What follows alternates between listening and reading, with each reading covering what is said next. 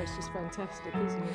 I, I'm beyond excited, and I think we really believe in the work that we've done, and we really want it to spread. So, winning this award gives us the legitimacy to make it spread and help other patients. It's amazing. And I'd just like to say thank you to Debbie because it's all down to her. It's our fantastic tissue viability nurse.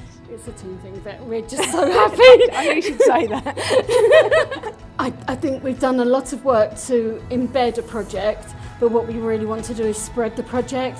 And this piece of work will really help to prove what we can achieve if we if we take this further. I'll for it. it. Absolutely go for it. it. We never thought we'd win, did we, Debbie? We No, just we just sat, had dinner. It's been very Yeah. nice. and then we got this. I, I suppose that we've worked as part of a really multidisciplinary team. It's have. not just nurses who won this award. We've had occupational therapists, we've had physiotherapists, we've got uh, somebody from a carers organisation here. And the reason we've done what we've done is because we didn't work alone. We, we we reached out to as many people as could help as possible.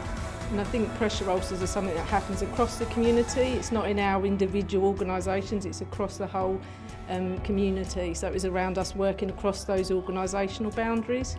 So hmm. that's been the success really, yeah, hasn't absolutely, it? Absolutely, yeah.